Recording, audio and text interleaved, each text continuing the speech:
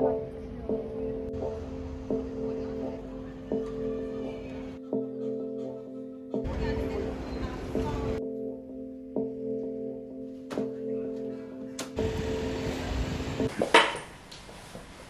ready, my bro? Yeah. Number one.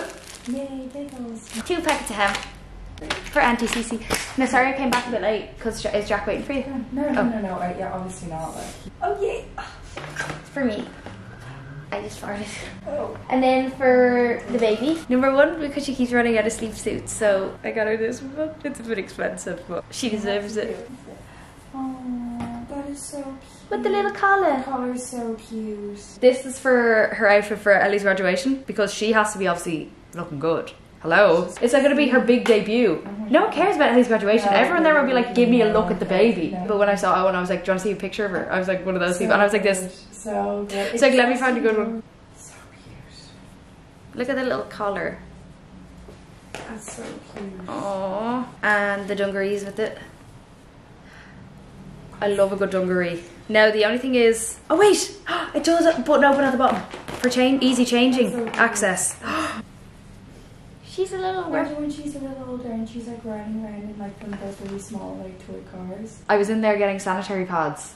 And like was looking like browsing. And then I go, Do you have gripe water for babies, like for reflux? And then she was like, I've never heard of such a thing. And then she goes, Don't buy over the counter for your baby. And I was just like, Oh, here we go. I'm gonna get a lecture. I'll make you something. And then she like took out her witchcraft book and she literally was like this. I was standing there for hours like it felt like hours. I was literally like Oh my god. she goes, This is for your own baby? How old is she? Seven weeks. Congratulations, oh my god. And I'm like, Yeah, she's literally at home, like I wanna be going back to her. And then she was like, Let me look now. And then she was like asking me what words mean in the book. And I was like, Oh Don't buy any like approved. Yeah. FDA She approved. don't buy anything Yeah. approved by the FDA or safe. She's like, take it for me, a random stranger that I've made.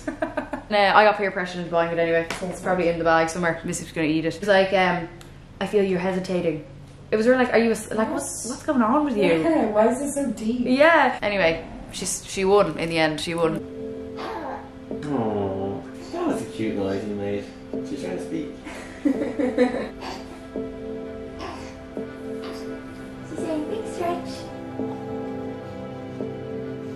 Since I got a, my period two days ago, like some sort of demon has been released in my body, and I didn't really get the baby blues or anything after I gave birth, and uh, it took my body ages to heal, and it still is healing. Obviously, with an epi- episiotomy, it takes even longer to heal, so I didn't think I'd get my period, um, and I'm exclusively breastfeeding, so it doesn't really make any sense. And I can't use tampons, and I can't use my period underwear because I have overgranulation beside my wound and it aggravates it. So I was trying to free bleed, but then fucking everything was getting covered in blood, and it's just like I'm still I'm still in pain, but my body like thinks I'm ready to have a, another baby for some reason. And then I tried to take a shower this morning, and she wouldn't stop crying, and I. Then I tried to have my breakfast and she still wouldn't stop crying, so I can't eat even when I'm trying to put a pad on. She's screaming, crying. So then when I'm breastfeeding her, like she's looking up at me and I'm fucking bawling, crying, and I feel really bad because I don't want her to think I'm like upset that she's here or whatever. Even though she can't understand my emotions, she's only a stupid baby. Like I cannot put her down for one second, so like I have to try piss and change my pad on the toilet while holding her, or otherwise leave her down and let her scream, crying while I do it. So much pressure as well to be the only source of food for her. Oh, I'm sorry. That's not your fault. She's only a stupid baby. She doesn't know how to change her own nappy. And these fucking nappies I got are so fucking shit. I'm gonna sorry for the cursing. I'm going uh I'm gonna blame all my problems on these stupid fucking nappies that I've been using. And I was trying to use them up before we started on reusables because I didn't want to waste them or whatever because she'd grow I couldn't keep them because she'd grow out of them. And they were already in open bags, so I couldn't like gift them to anyone either. They'd be a bit scabby. I swear to God, every time she pisses in them, it just goes up her side. Like they're not absorbent at all, and they're also like as hard as cardboard. So I think they're uncomfortable on her as well. And the stupid fucking white noise machine. I swear I could flick it through the fucking window. The shushing sound.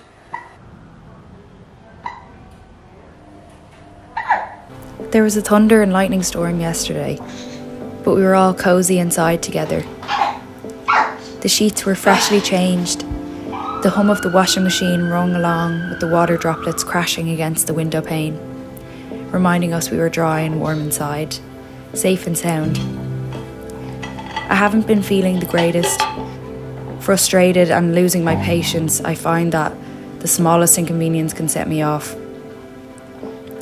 Like my glasses getting stuck in between the cushions of the couch, biting my tongue while eating, dropping a hot piece of toast on the ground, the shower running cold, or not being able to find a matching pair of socks. I know this shall pass, but I find myself looking at my son, somnambulant daughter, free of expectation, worry, or dread, who's held when she cries and needs are met by any observing adults nearby, and I feel almost jealous. I yearn to be small enough so I can be held and rocked and sleep on top of my mother's chest. To have my nails bit and my snots picked to be bathed in chamomile and milk, warm water poured over my head and hugged dry.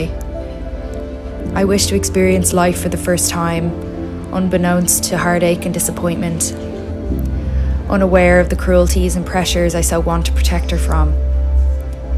Not yet a woman, not yet a girl, just a baby.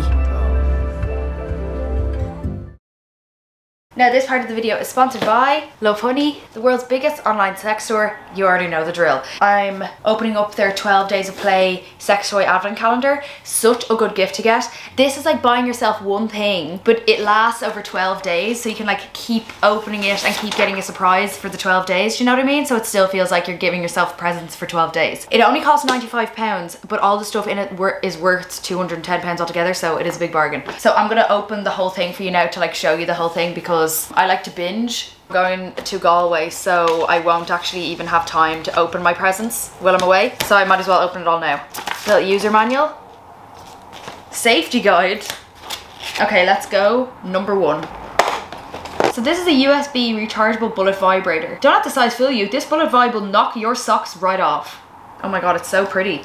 It looks like a lipstick. Very handy for travel. That's a really nice little subtle. That's actually really pretty. Love this. Very glam. Obsessed. We are going on holidays. That's a good one to bring. Sorry, I need to milk as well because um, I was leaking. I was leaking everywhere. Two, menthol pleasure balm. Now I've heard of this as well for guys to guys it's very heteronormative of me for people if you're giving a if you're giving a person with a vulva head to have the fisherman's like icy chewing gum because apparently it's like menthol is like really nice on a vulva so this is really interesting so if you could put this on first and then use the sex toy i'd say it will knock your socks right off. Mint Orgasm Balm infused with tingly menthol. This balm works wonders on your intimate areas.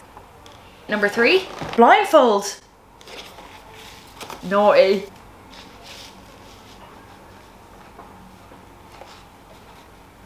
Number four, this is a G-spot dildo. Prove it's what's on the inside that counts by giving your internal hotspot sublime stimulation. Compatible with the bullet vibrator behind door one. For safety and user instructions, see the included leaflets. Two in the pink, one in the stink. You got both going on for ultimate pleasure. Number five, sorry, I love this. Good ornament, even. Here we go. Crystal butt plug. It's clear as crystal. This dazzling plug ain't no diamond in the rough. In fact, it's a real gem. This is actually really pretty as well. It's real heavy though. It's heavy too. Oh my god.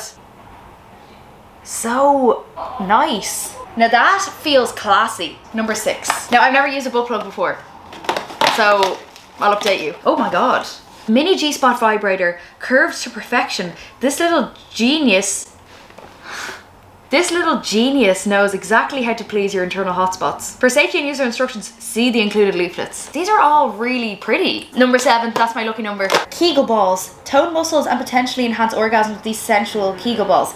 This could actually be really helpful for after you give birth, you need to do your Kegel exercises, which is basically your pelvic floor exercises. They're just called different things. Med I think medically it's called a pelvic floor exercise, but it's basically the squeezing of your vaginal walls. Mine used to be really strong and really good because I could I was able to feel when I was squeezing my vagina shut but after you give birth you literally can't feel your pelvic floor at all. And when you're pregnant your pelvic floor muscles are stretched out really far. Obviously stretching the stretching out of muscles makes them weaker and weaker. So when they spring back they're a bit loose and like weak. So you have to keep doing your exercises. It's probably going to be really hard for me to orgasm now when I have sex so I, I need to start work I need to work out my vagina. My vagine needs a good workout so this is actually really handy. Number eight. Oh sex dice. Let's roll it. Relax. relax for five minutes. The dice literally said, put the feet up. I swear to God, this is what came off. What am I talking about? These are all so good if you're going on holidays. Like, I'm sorry, this is so subtle, like to go in your handbag. On the go. I can't wait to use this. So much fun. Spicing it up. Nine. Rabbit finger vibrator sleeve. Upgrade your pleasure sessions with rabbit finger vibrator sleeve. Oh, vibrator sleeve in your vibrator. Oh, I love this is a this is genius.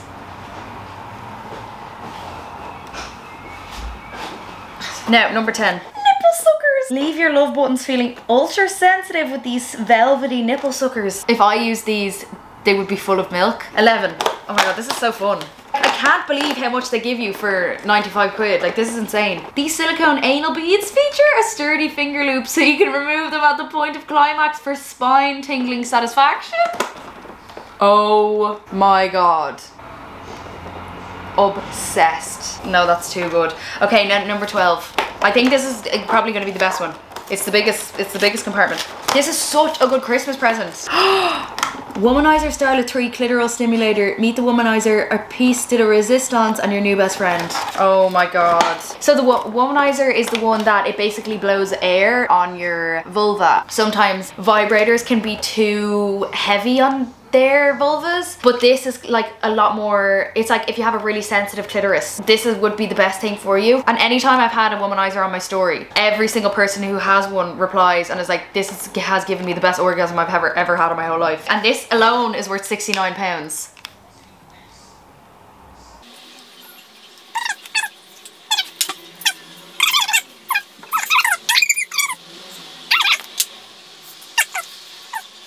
Lovehoney really popped off with this one. So, as I already said, the calendar costs £95 altogether, but if you use the code KEELIN10, you can also get 10% off. Even bigger of a bargain. Such a good present. Okay, linked in my description as well. Bye.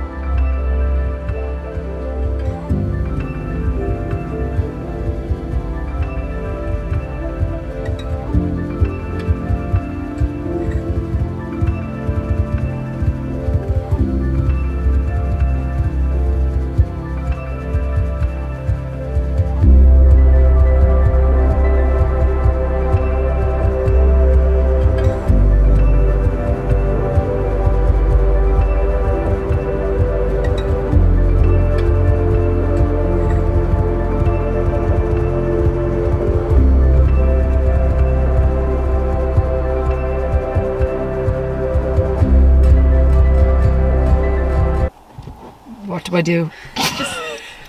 hold on a moment. No, but I'm ringing. Oh, she, she's not answering. So funny. Oh my god, so good. Skinny. Foodies. Oh, hang on. The powers made the paper. You can light up my love. Come on, Jason, sing in, j- join in. Break whenever I fall. You say it best When you say what? when you say nothing at all. World of our own. I'll tell you things that no one else knows. I'll let you in when no one else goes. Whatever do without you. Whatever do without you. Well, I guess I'm ready. Oh, No buts or maybe. Oh,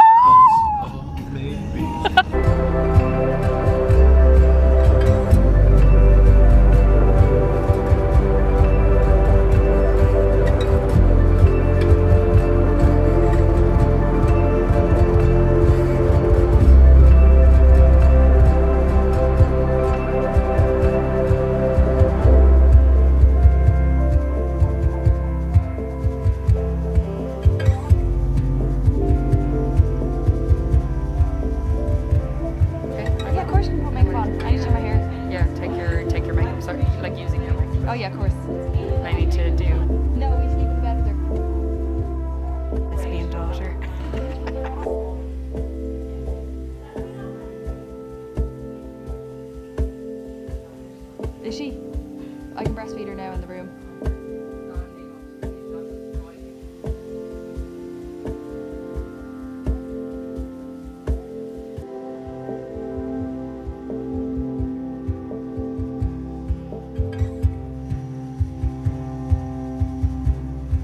Thanks, guys. What do you call it? Yeah, that Mary Jennings last night. You know, went to the Exciting poetry. Oh, Ke- Keelin, you have to do a reci- Let's do a recitation. Go on, do a poem.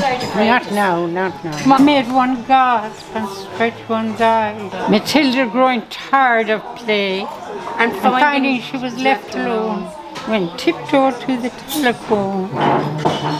Within an hour, the gallant band were pouring in from every hand, from Putney, Hackney, Downs and Bow, with courage high and hearts aglow. They galloped roaring through the town.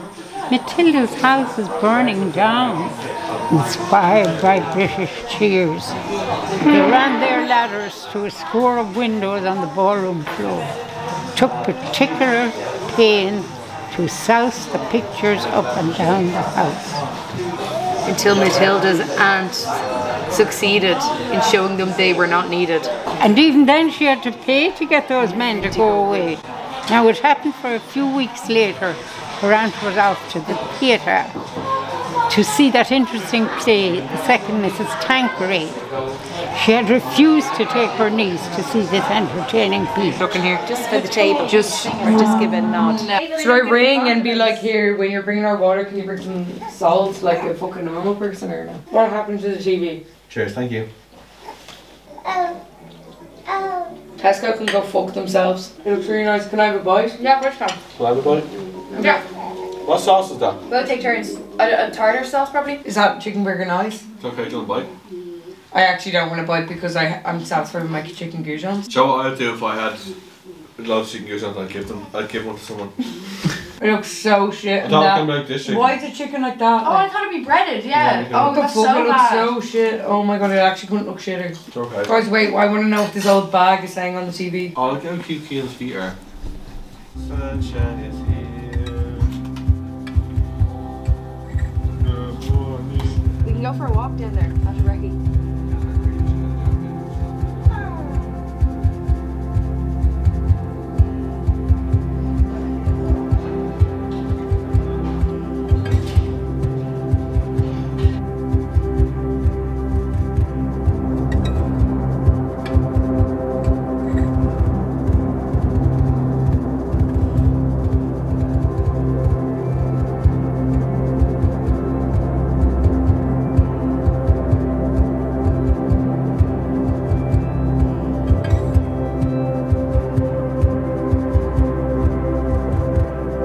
Looks so nice on you. I'd love a coat like that for the rain. Like that. It's great. Yeah, it's really winter nice, really There you nice. go. Great winter. It looks so good on you as well. Thanks, guys. And I got this top. That top's yeah, she has great style. Yeah, she does. Living at home in a trailer. Okay, I got this. It's not for me. I got this in the charity shop, in her charity shop for one euro. Is her charity shop really good? Yeah, so good. Like every time you find something, it's like one euro. Is it not saying that? Regard. No. I'm doing my haul, Just Jerry. like Oh, I bit. don't give a I got, I got this, nice. and then I also have it in beige for Jack. Then I have this scarf that Oh. Mia got me. Wait. Oh, lovely. That's real um, Eternal Sunshine with Spotless Mind. Yeah. Or And then we're uh, About a Boy. That's have so you ever watched? cringy. It's Have you ever watched? um, Camp Rock or something? What was it? And then I got this. It's just like a kind of turtleneck jacket thing. Oh, that's nice. Yeah, like a little Get out of my way! I think. And then this top I really like too. I wore this yesterday. Oh, Gorgina. Pretty, isn't it? Yeah, that's so nice. Oh my god, it's so nice. Where'd you get them? Uh, this top. Where'd you get them? Mia, Mia gave them. And she gave me these pants. They're actually really nice on. That's all. period. That scarf is so bad. It looks like some like- Joe Jonas was I- wearing. I I like it. I like it too. It's so bad.